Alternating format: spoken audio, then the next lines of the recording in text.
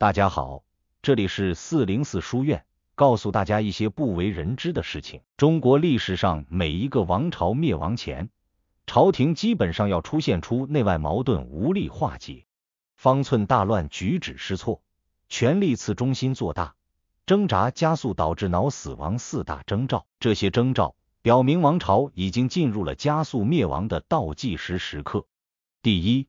内外矛盾无力化解，东汉末年的党锢之祸，外戚专权，世家大族子弟秉政，宦官集团做大，地方实力军阀的兴起，太平道宗教势力的蔓延，黄巾起义，就呈现出内外矛盾无力化解的末日征兆。这些错综复杂的政治生态，加速导致了东汉王朝的灭亡。中唐至晚唐的藩镇割据，宦官专权，牛李党争。尤其是黄巢造反，对社会生态的大规模破坏，加速了唐王朝的覆灭。宋、明、清三代的末年也有类似的表现。北宋至徽宗时，社会矛盾已非常尖锐。王安石变法富国强兵的举措，实际上是例行商鞅的育民武术。民间财富被一步步掏空，逐渐集中到了朝廷和各级官员的手里，百姓生活困苦。皇帝穷奢极欲，百官醉生梦死，不遗余力敲剥小民的严重后果是社会矛盾激化。宋江、方腊的起义进一步削弱了朝廷的统治力量。对外关系上，辽、西夏对北宋的威胁长期存在，后起于辽东的女真建立的金国更是咄咄逼人。北宋朝廷面对这些矛盾，却根本无力解决。文人气息过重的宋徽宗，饱读诗书，书画双绝，对军国大事却束手无策，甚至直接躺平，日日耽于醇酒美人，醉心于蔡京宣扬的风亨裕大，不再考虑从根本上解决问题，甚至连治标的办法都拿不出来。当然，如果仅仅是这样，北宋仍然可以苟延残喘，不至于迅速灭亡。宋徽宗一系列倒行逆施的重要举措。直接加速了北宋的覆亡。明末的崇祯也面临着阉宦势力、党争、连年大旱、流民大增、后金威胁一系列麻烦。对这些严重的矛盾，他不但无力化解，反而打出了一系列昏招，直接加速把大明王朝推向了穷途末路。满清更是不堪，其覆亡是从一九零七、幺九零八开始突然加速的。如果说之前的王朝处于一个封闭的环境内，没有改弦更张的借鉴参照和有效途径，满清条件要好得多，美英日德都是现成的学习榜样。不幸的是，面对内外危机，满清权力集团不是从政治制度上开刀，反而搞了一系列措施顾全，直接把大清推入了倒计时。第二，方寸大乱，昏招迭出。宋徽宗即位后，重用蔡京、童贯，搜罗花石纲，迷恋美色，贪图享乐，导致怨声载道。但是，他除了这些历代皇帝普遍具有的毛病，还有好大喜功的一面。为了实现祖宗们都没有做到的收复幽云十六州的强国梦，为了在列祖列宗面前露一手，轻佻的宋徽宗放了一个大招，即对辽国毁盟背约。和金国结盟，具体内容是宋金联合进攻辽朝，灭辽之后，宋朝收复燕云十六州，同时把给辽的岁币转赠给金朝。这个策略貌似正确，但实际上却是一个加速了北宋灭亡的重大外交失误。在当时的情况下，金强而宋辽弱，而且辽和宋之间已经和平百年，面对陌生的势力。宋朝应该与辽联合对抗金国。对宋来说，最好的结局是三方可以共存，形成战略平衡。如果辽必须在宋的支持下才能同金抗衡，那宋就可以占据战略优势。即使想灭辽，也要做好辽王后和强大的金对峙的战备。可惜，急功近利的宋徽宗。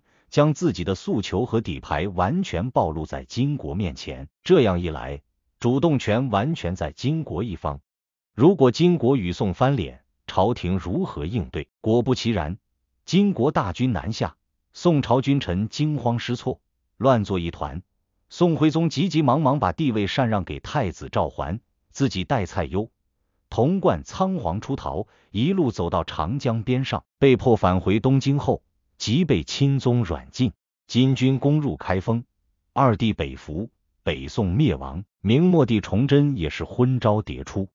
从崇祯元年的裁撤驿站开始，到崇祯九年、十年，继辽饷之后，加征剿饷、练饷，以及走马灯换相、临阵义将、诛杀大臣，各种昏招此伏彼起，层出不穷。也许是因为坏消息太多。崇祯十七年中，皇帝经常处于心绪烦闷、方寸大乱、长吁短叹、束手无策的状态。具体表现在决策随意性极大、政出多门、朝令夕改、左右互搏、内耗严重、中枢吵闹不休、下属无所适从。李自成一路北伐，势如破竹，官兵望风而降，兵锋直抵京郊。此时。崇祯与大臣却都在焦头烂额之中，因为是否需要迁都而斗气、推诿、扯皮。崇祯如果在此时当机立断迁都南京，明朝尚有大半江山、江南富庶之地，财税丰足，自守绰绰有余，也有可能卷土重来。时间一天天过去，什么也决定不了。大臣们各怀鬼胎，暗中忙着准备迎接李匪进京。做新朝之官，众叛亲离之下，崇祯只能一步步走向煤山。满清于一九零七年推出皇族内阁，一九零八年慈禧毒死光绪，免去袁世凯本兼各职，开缺回籍。一九一一年铁路收归国有，这几件事大大激化了内外、上下左右各种矛盾，尤其是保路运动这样的大规模民变。宣告满清统治已经进入弥留状态。第三，权力次中心的做大，政出多门是专制王朝普遍存在的痼疾。一个王朝的末年，这种一国三公的内耗往往使王朝加速走向死亡。北宋末年，宋徽宗禅位给宋钦宗，自己做太上皇。宋徽宗在金军兵临城下的生死关头，带着蔡攸、童贯。高俅乘船沿大运河连夜南下，一路逃到长江边上的镇江。宋徽宗南下的后果是，宋王朝实际上出现了两个权力中心，没有经朝廷批准而擅自前往东南的官员为数甚多，以至于出现了去朝廷者十以三四、班坠空然、众目骇视的局面。相反，宋徽宗的行宫以及江南地区则百官云集。通过发运使司和行宫使司，宋徽宗向东南各地接连发布几道诏书，以刚运于所在谢纳，截留了江南地区供应京师的物资。宋徽宗的这些做法，使得文上皇之诏指秦王之师，守臣惶惑，莫之所从，使朝廷不能号令东南，都城处于既缺兵又缺粮的绝境。开封政权变得更加难以维持。本承诺不干预政事的太上皇，此时在江南却照常处理政事，任免地方官员，大肆恩赏贱滥，以至于官员或于告，命并行，而莫之有朝廷矣。宋徽宗俨然还是一国之君。江南地方官把宋徽宗的所作所为上奏给宋钦宗，京城处于一片恐慌之中。一个王朝。事实上存在着两个皇帝，下属官员在两大阵营中游移不决，东倒西歪，瞻前顾后，无所适从。这种严重的内耗加速了北宋的覆亡。崇祯末年，影响朝廷决策，导致政令不通的权力次中心相继出现。袁崇焕之死，使得带兵的大将人人自危，拥兵自重，顽寇自肥，成为一种普遍的现象。朝廷的号令已经不出宫门，坐镇武昌、手握百万雄兵的左良玉，不但缴张献忠不利，而且坐视明朝的灭亡而无所作为。由于崇祯贪功诿过、气量狭小，大臣们担心他甩锅而都不愿意承担责任。明朝廷实际上已裂变为皇帝、大臣、武将三个矛盾重重的政治集团。伟大不掉的内讧加速把明王朝逼向了绝路，一大堆人每天吵吵闹闹，什么问题也解决不了，坐待国事糜烂，政权覆亡。满清在剿灭太平天国、捻军的过程中，以曾左、胡鹏为核心的湘军和以李鸿章为核心的淮军相继崛起，权力次中心已经出现。戊戌变法时，帝党、后党的激烈争权，使朝廷分裂成两派。庚子事变中，李鸿章、张之洞、刘坤一的东南互保，不奉朝廷的乱诏，标志着清末地方势力的崛起。清政权对此心知肚明，却又无可奈何。一九零七年前后，满清统治集团事实上已经分裂成帝党的皇族，袁世凯为核心的军人集团，地方官绅势力的立宪派。孙中山、黄兴和宋教仁的革命党，这四种力量决定了清末民初中国政治的走向。一九零八年，光绪被毒死，慈禧病死，袁世凯被免，朝廷中枢出现了巨大的权力真空。此时，满清统治集团再也推不出具有远见卓识、众望所归的领袖人物，各种人才迅速下沉到远离中枢的权力次中心。这些势力爆发出来的离心力量，直接导致了满清统治的终结。第四，挣扎加速了脑死亡。每一个大限已到的王朝，都不可能主动迎接死亡，引颈就戮，在临死之前，必然拼命垂死挣扎。可惜，这种挣扎却往往没有什么用，如同一个深陷泥淖中的困兽一样，不挣扎还能苟延残喘，越挣扎。越下陷的快，直至没顶。在这个时候，不做点什么似乎不可能。但是无论怎么做，可能都是错的。战与和，守与逃，选什么都不对。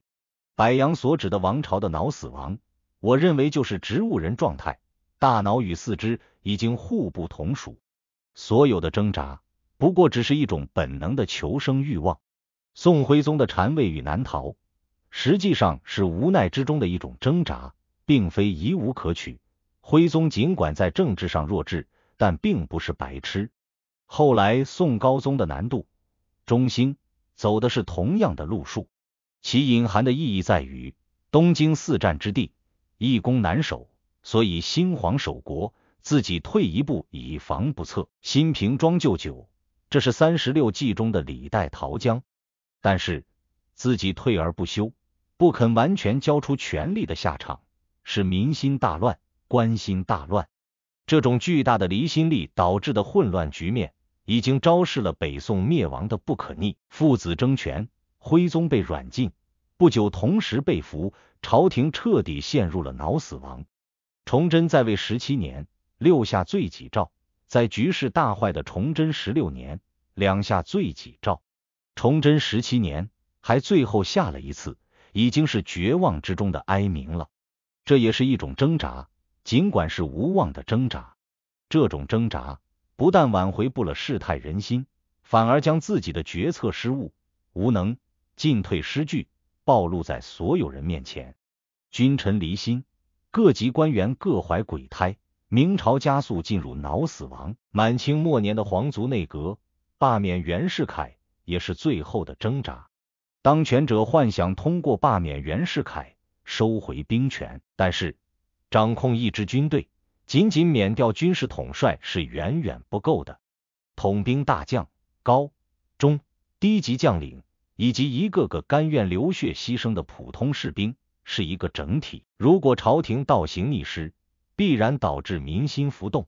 士兵都是来自于普通老百姓，民心浮动的后果是军心动摇。谁还会给你奋不顾身的去卖命？为什么打仗？给谁卖命？连这些道理都不明白，有兵在只能是一句空话。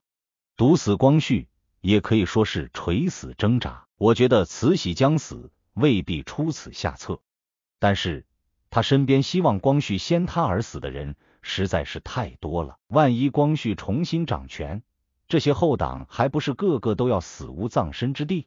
光绪糊里糊涂。就丢了命。小团伙的利益凌驾于集团利益，集团利益凌驾于国家民族利益，是统治集团进入脑死亡的重要标志。可以做个假设，如果年轻的光绪能够活下来，他只活了三十七岁，并无绝症，清朝很可能立宪成功，中国很可能进入君主立宪的宪政时代。但是历史不容假设，也就是说，光绪必须死，清朝必定灭亡。这四大征兆齐备，亡无日矣。如果您觉得有所收获，麻烦帮忙点赞、转发、订阅，谢谢收看。